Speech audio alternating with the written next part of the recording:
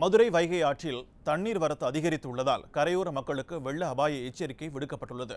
தேனி மாவட்டம் வருசநாடு பகுதியில் கடந்த மூன்று நாட்களாக பெய்து வரும் கனமழையினால் வைகை அணையின் கீழ்ப்பகுதியான வைகை ஆற்றிற்கு நீர்வரத்து அதிகரித்துள்ளது.